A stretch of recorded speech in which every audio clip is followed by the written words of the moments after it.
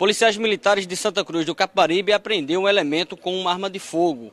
O fato aconteceu no bairro Santo Agostinho. O, foi apresentado o José Roberto Ferreira né, de Assunção, o Bebeto, como é mais conhecido. Deixa eu conversar com ele aqui. Ele foi capturado aí com arma de fogo. Bebeto, como é, como é que foi a situação aí, Márcio? O cara queria estuprar minha filha. Espera aí, vem cá. Como é que foi a situação aí? Não é dizer mais não. Tu ia pegar o caboclo. O cara queria estuprar minha filha, eu vou matar ele. Ah, o cara ia estrupar tua filha e tu vai matar ele. Eu ia matar ele. Chegasse a ver ele hoje? Vi não, vi não. Não chegasse a ver ele não. Vi não. Preso um monte de vezes. né? Fui. O cara é homem. Agora, ô Bebeto, agora foi verdade mesmo esse negócio que ele queria estrupar sua filha mesmo? Foi.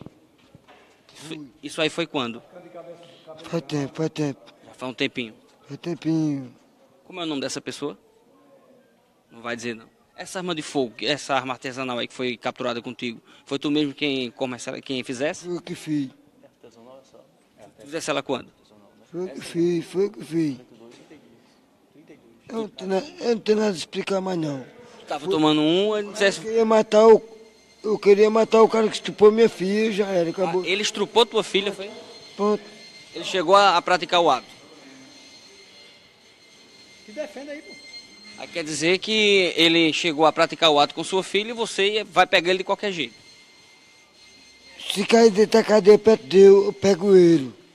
Eu pego. Não tem boquinha. Tem boquinha não, não, que é minha filha, minha filha. Tu tava tomando uma lá no Santo Agostinho, saísse procurando isso. Hoje eu mato ele, foi isso? Não tem nada para dizer não, mas não. Tu tava tomando um aonde? Lá no Santo Agostinho, na Seresta, onde é que tava? Não. Eu tava procurando ele. Essa arma aí, que calibre é ela? Não, só você confia a arma. Dispara mesmo. Já atirasse com ela? Eu? Eu ia atirar no cara que estupou minha filha. Como é o nome desse cara? Não sei não. Sabe não? Essa treta já faz tempo já? Ah, patrão. Só tenho negócio a dizer. O cara que estupar minha filha, eu tiro 50 anos de cadeia por ele, eu tiro. Bebeto, agora estrupar ou estrupou? Que eu não tô entendendo. Ele chegou a estrupar ou ele queria estrupar tua filha? Ele mandou minha filha pegar uma roupa, pra testar uma roupa e querer estupar minha filha. Tua filha tem quantos anos, Bebeto? Tem 15 anos hoje. Aí você ficou sabendo. Fiquei sabendo e, e corri atrás. Quando aconteceu essa parada aí, tu tava preso ou tava na rua? Tava, tava preso. Aí soubesse lá, Solto. tava solto. Solto.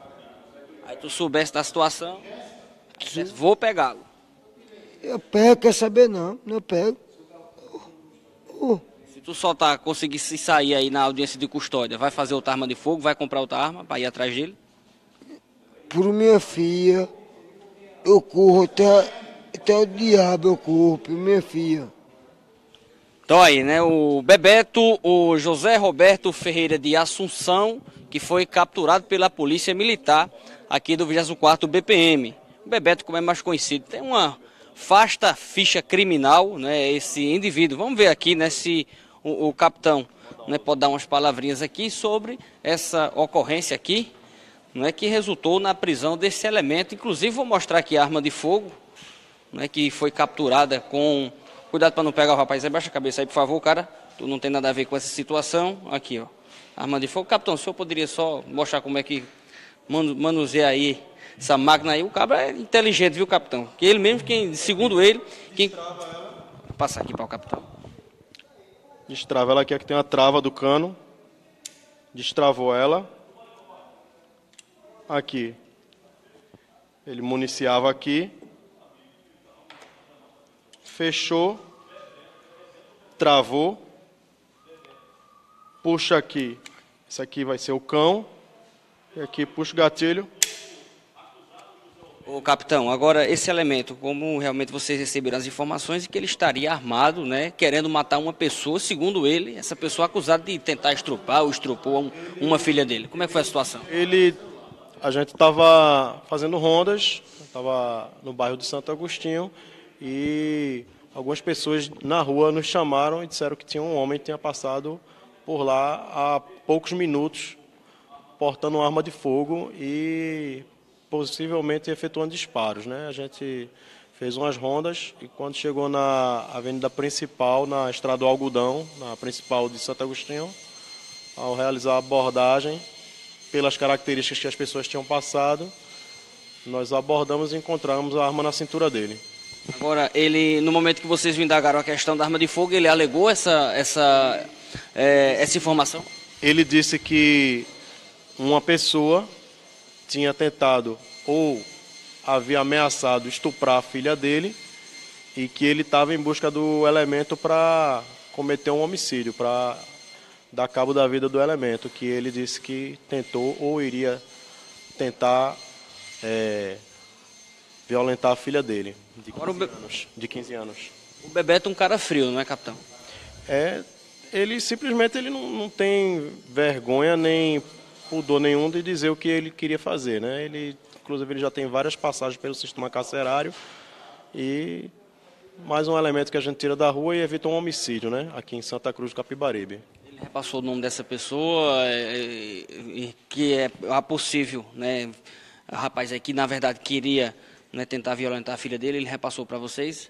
Não, não. Em momento algum ele citou nomes. Ele apenas disse que uma pessoa teria, iria ou teria tentado estuprar a filha dele e ele apenas estava em busca desse elemento. Ele não disse em momento algum o nome da pessoa para nós. Capitão, muito obrigado por suas informações. O senhor vai começar a realizar os seus trabalhos aqui, confeccionando o boletim de ocorrência. Quais os seus policiais que estiveram aí nessa situação juntamente com o senhor? Eu estou aqui com o sargento Pascoal e o cabo Vieira, que excelente, fizeram um excelente trabalho durante a abordagem.